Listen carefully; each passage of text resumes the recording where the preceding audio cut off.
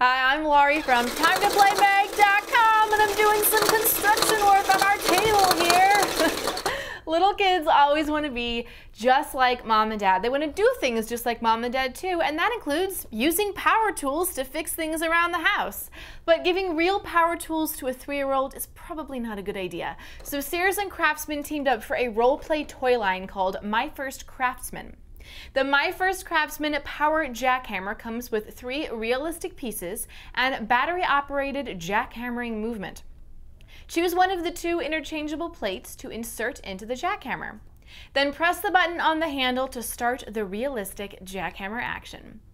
Three AAA batteries are included for in-store Try Me features, and it's recommended that you replace the batteries before you play for best results. This is a fun way for kids 3 and up to feel just like a grown-up with their own power tool.